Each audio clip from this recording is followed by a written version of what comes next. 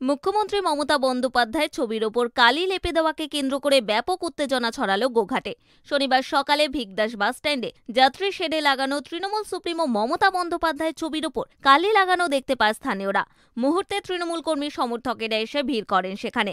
খবর পেয়ে ঘটনাস্থলে উপস্থিত হন গোঘাটের বিধায়ক মানুষ মজুমদার। বিধায়কের অভিযোগ, রাজ্যের মুখ্যমন্ত্রী পুজোতে রাজ্যের ক্লাবগুলিকে টাকা দিচ্ছে, বাংলাকে নতুন করে সাজাচ্ছে বলেই রাজ্যে সাম্প্রদায়িক অশান্তির পরিবেশ তৈরি করছে বিজেপি।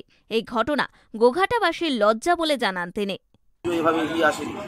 একটা অস্থির পরিস্থিতি তৈরি করার জন্য একটা সময় যারা সিপিএমে ছিলেন, বর্তমানে যারা বিজেপিতে আছে এবং বিশেষ করে এখানে একজন সিপিএমের দুর্দণ্ডপতা হার হারমাত যে এই ভিগদাস বাজারটা বারবার গোঘাট বাজারটা বারবার দখলকার এলাকা তোলাবাজি, নিজস্ব তোলাবাজি কায়েম করার জন্য সিপিএম যাওয়া যে বিস্তীর্ণ এলাকায় অস্ত্র সাপ্লাই করতো, মেদিনীপুর, হুগলি বিস্তীর্ণ জায়গায়।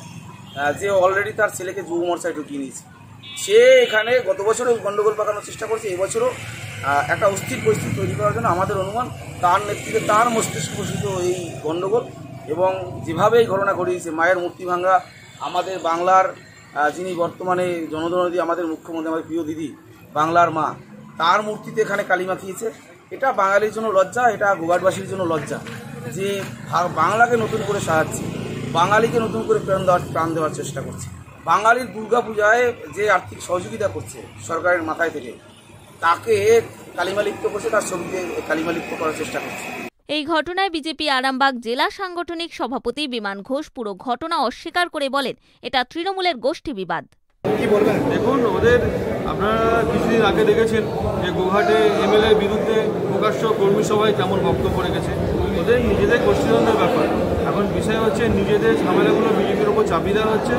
যে এমএলএ গোষ্ঠী আছে, এমএলএ যে উল্টো গোষ্ঠী আছে, আরও গোষ্ঠী আছে, নিজেদের মধ্যে ঝামেলা। কেউ চাইছে মমতা ব্যানার্জি মুখ্যমন্ত্রী হোক, কেউ চাইছে অভিষেক ব্যানার্জি মুখ্যমন্ত্রী হোক। এইরকম একটা বিষয় চলছে। ওদের নিজেদের ঝামেলা, তাই মমতা ব্যানার্জির ছবিতে কালি লাগিয়ে দিয়েছে। দিয়ে ওদের দোষটা বিজেপি ঘাড়ে চাপানোর চেষ্টা করছে। অভিযোগ পাল্টা অভিযোগে সরগরম রাজ্য। তবে ঘটনাস্থলে পৌঁছয় গোঘাটা থানার পুলিশ। গোটা ঘটনা খতিয়ে দেখছে পুলিশ। সুজিত গৌড়ের রিপোর্ট হুগলি।